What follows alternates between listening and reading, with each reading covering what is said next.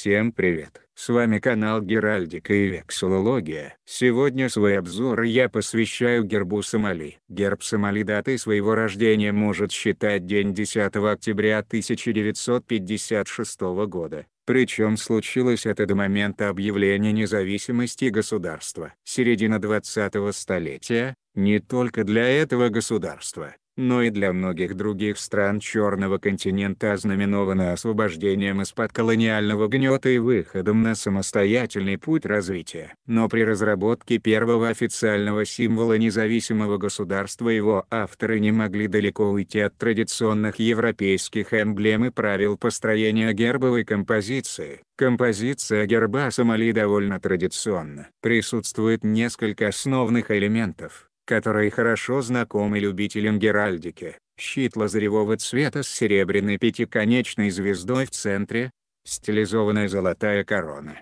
венчающая щит, леопарды в роли щитодержателей, скрещенные пальмовые ветви, копья, как виды традиционного оружия Сомали. Такая композиция характерна для многих государств Европы и Азии. Элементы сомалийского герба, с одной стороны, опираются на мировые геральдические традиции, с другой стороны, подчеркивают особенности своего государства. Сомалийцы обрели свою эмблему еще до того момента, как страна стала самостоятельной. В то время территории находились под протекторатом Британии и Италии. Соответственно, существовали британские и итальянские гербы. Кроме того, Коренные сомалийцы проживают сегодня в пяти разных странах Африки. Поэтому пятиконечная звезда выступает символом объединения всех аборигенов в единое государство, которое пока не существует в реальности, но уже имеет свое название – Великая Сомали. Леопарды в роли щитодержателей на гербе страны соответствуют геральдическим львам,